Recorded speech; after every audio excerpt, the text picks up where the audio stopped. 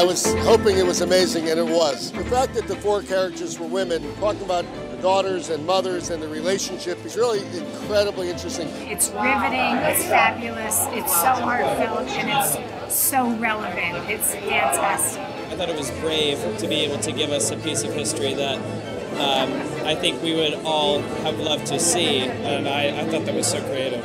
I thought it was a wonderful insight into what the you know the female experience, especially as politician women perspectives that we don't always talk about. I thought it was very moving.